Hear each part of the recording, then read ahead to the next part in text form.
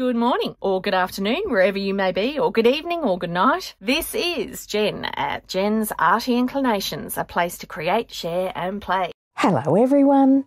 Look, I'm sharing some of the things that I created for a swap in my little Aussie group, which is Junk Journal Creative Swaps in Oz. Now, I'll put all the links below for where we got the inspiration and so forth. This one, however, was a live that one of our beautiful members did for us.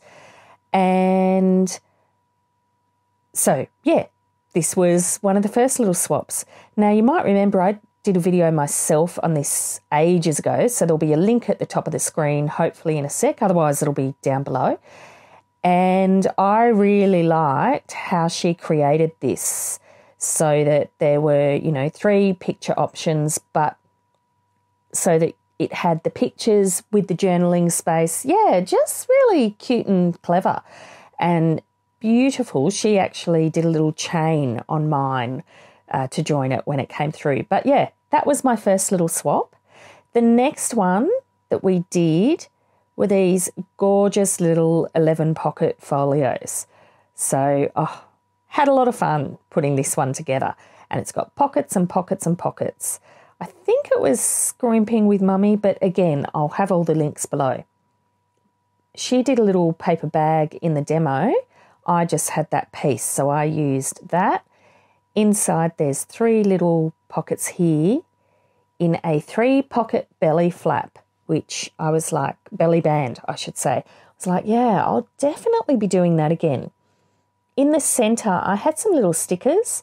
So I just made this little library style pocket to pop the stickers in. I thought that was a bit cute.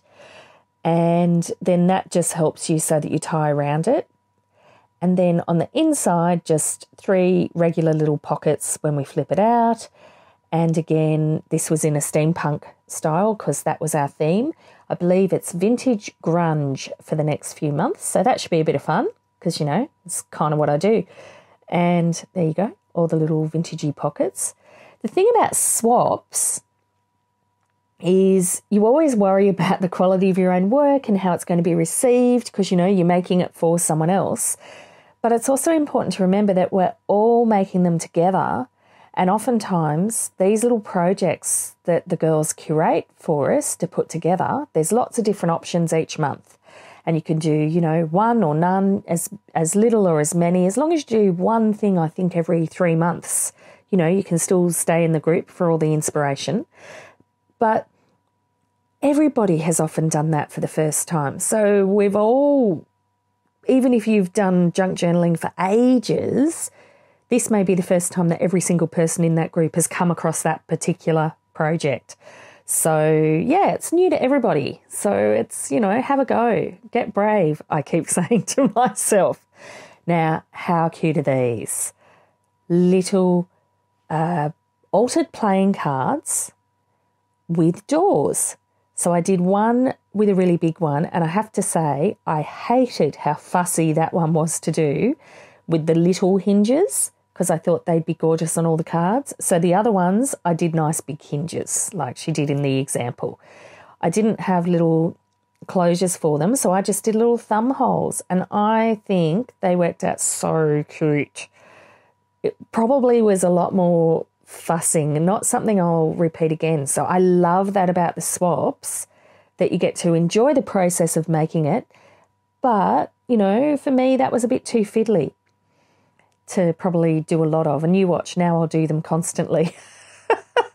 All right, so then we had these scrappy staggered booklets, and they were from gorgeous treasure books. And you just kind of decorate the pages that you see. So you do a little something something on the edges. And gosh, I had a lot of fun just collecting all the papers. And I wasn't as quick as what Natasha was doing hers. She said, you know, she just found them really quick to do. I kept fussing and faffing. However, I did end up with a whole bundle of them. So, yeah, really cute just to slip into a pocket. I've already used one. So, there you are. They were my little makes this month. Hope you enjoyed. And yeah, check out below for the links on the process. Take care, everyone.